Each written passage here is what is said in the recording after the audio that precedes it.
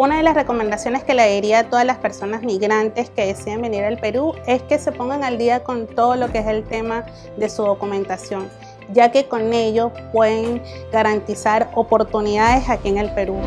Una de las razones principales que me obligó a salir de Venezuela fue que no se conseguía pues medicina ni comida y el motor principal fue mi familia.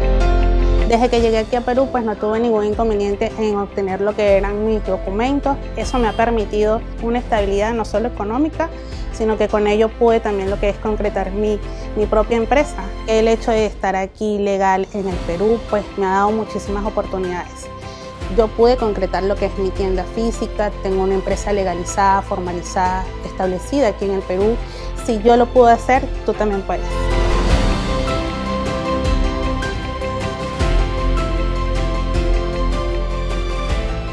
Bicentenario del Perú 2024. Gobierno del Perú.